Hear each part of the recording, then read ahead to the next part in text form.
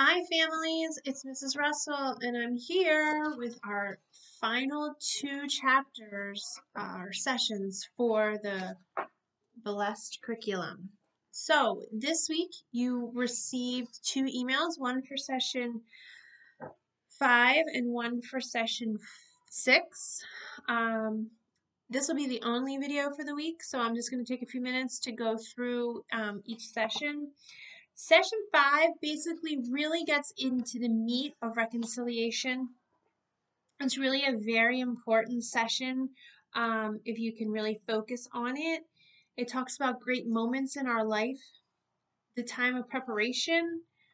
Uh, we have two big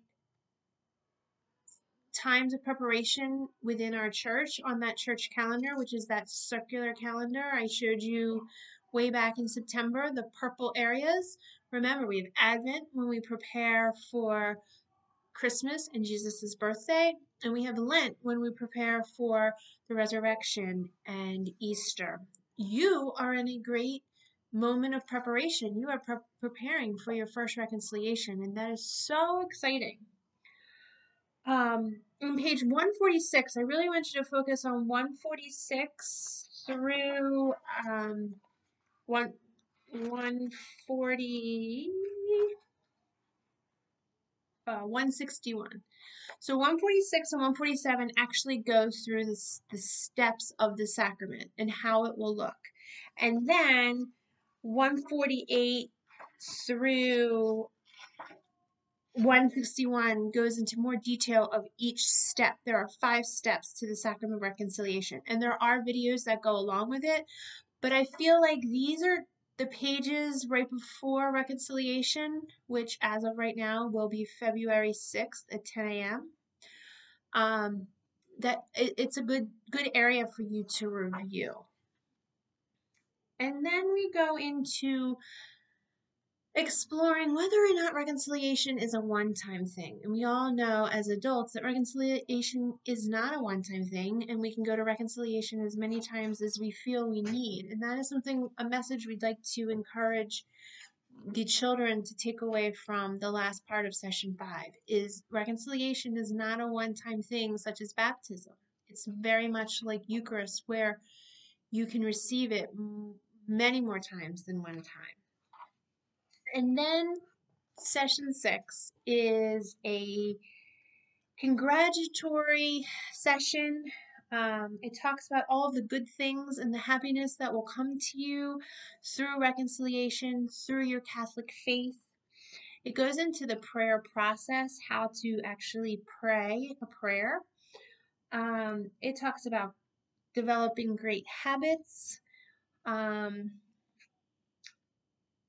realizing that going to a quiet place is not a bad thing and we all need some time to be quiet and just reflect. We hear a story from the Bible about Jesus and how he went to a quiet place.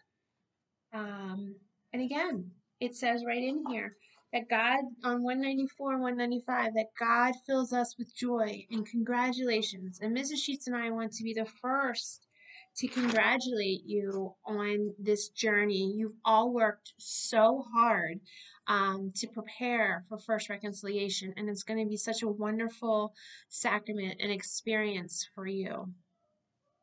I do not have very many more details regarding the actual sacrament. I will be meeting with um, our religious education director, hopefully by the end of this week. Um, and as soon as I know anything, I will give you um, an email with the details. Again, right now it is scheduled for February 6th, 10 a.m. It's going to be in the Family Center. We are not going to do it in church. The Family Center, the hall of the Family Center is set up um, so that we can socially distance. Um, and then reconciliation will take place down the hall in the conference room.